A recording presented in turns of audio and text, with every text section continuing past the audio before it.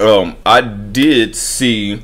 I was watching. Um, what is it called? Lip Service mm-hmm. with Angela Yee mm-hmm. and uh, Muni Long, Jason Lee, and some other guy was on there, and they were talking about some. I, I, I don't want to get twisted, but it, the gist of it was no decent man will approach a woman when no one else is around and try to offer assistance. And I'm not gonna lie to you, I've never heard it broken down that way. Hmm. But it kind of makes sense because I'm gonna lie to you. I'm, I'm such a southern gentleman that if I see a woman struggling anything like lifting something, I'm stopping whatever I'm doing unless I got unless I got somewhere to go. You know, I'm stopping whatever I'm doing, and I'm gonna help you out. But then I'm I'm not gonna act like I haven't noticed there's a bunch of women who act like they're uncomfortable with me when I do that. So I'm saying, do, how do you feel about it? Do you like? Do you agree with her? Like, you should not, you know, ever approach a woman when she's alone, like to help her out, or do you feel like, you know, it's over dramatic, or you know, also like, are we just in a fucked up place where women have to be scared of certain things that we're just simply trying to show a good gesture, but it right. comes off as a threat? I mean, uh, so I think naturally, I'm I'm going to try to approach the situation. Like you said, if, if they are in the need. Yeah. It. But I can understand why. I think that goes back to the PTSD, honestly. It's, a lot of that is happening these days. And I feel like maybe I try to put myself in that position, like if I was a woman and I felt, but then at the same time, I don't look at women like they're weaker. You know what I mean? So if understood, understood. But I, I think for me, every time I see a woman not struggling with something, right? Especially now, let me tell you something. There's a certain age frame. Like if you're 50 and over, you ain't got no choice, bitch. You taking this help. Right. But like, right. you just need it. All right, just take it.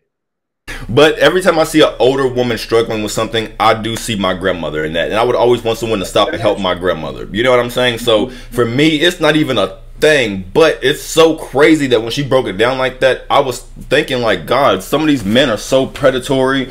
Some of these people, I mean, when it comes to the whole sex trafficking thing, like, it's insane that you are told to be a gentleman, help women if you see that they are, you know, whatever. But now people are so fucked in this world that women are threatened by a simple gesture like that, and that's so fucked up. And I think us as men, I think we have to do a, a lot better at trying to protect women in general, honestly, because they should they should not feel like that. Not only I'm not even saying just like honestly, I'm not even trying to sit here and be like black women, black women, black women, but I'm saying any woman right. should be able to accept some help without feeling like you about to attack or kidnap her ass. Y'all niggas are following these girls into the stores and threatening them and shooting them and doing all this crazy stuff. That is making it harder for the rest of us. Niggas like me like the whole doors open, but the women they run through the door like, uh, "What you want, nigga? What you, what you, holding it for? Why you stop? Why you know what I'm saying? Like, just holding it. And that actually is gonna get us to the next, you know, one of our next subjects because I did want to talk to you about culture shock because that is a part of my culture shock. I'm not gonna lie.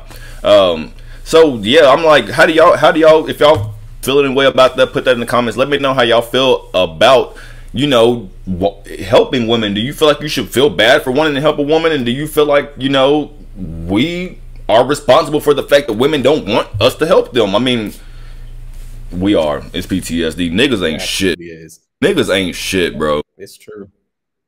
And some do it just to get something out of it potential. And they really be harassing these women, like following them. That's why I'm glad with cell phones because these girls will pull out these phones now and be like, "No, nigga, uh, uh-uh, uh what, uh, uh-uh. what's it record?" Uh, it.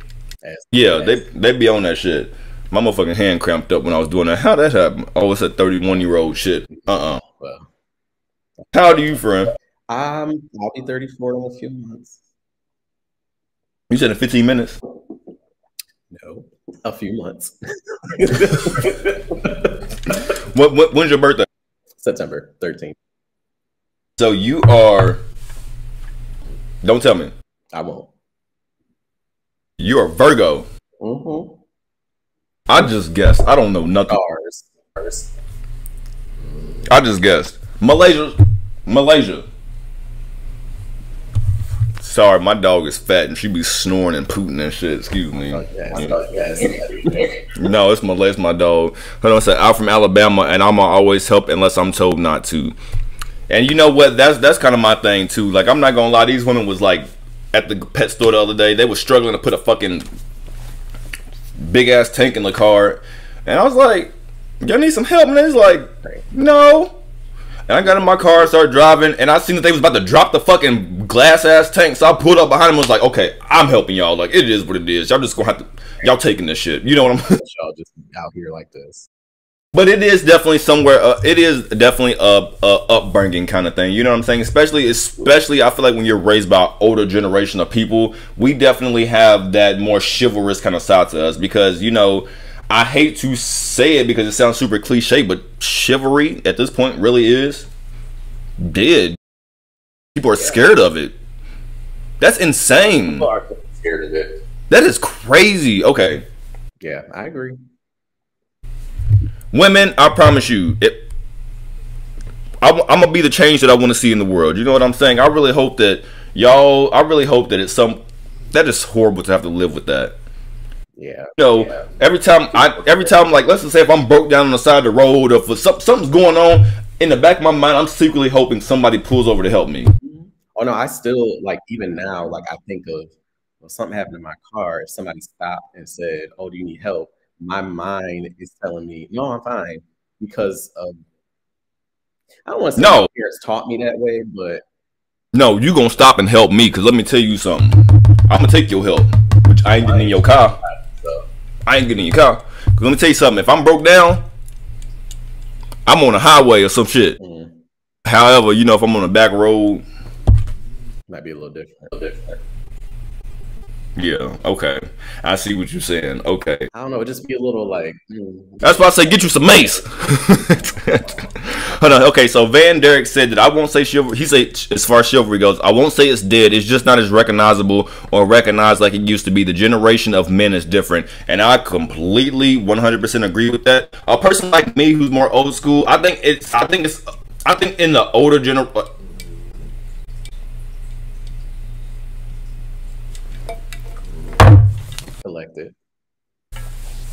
I think in our generation, mm-hmm. Mm-hmm. I don't like that I just did that to myself. That's okay.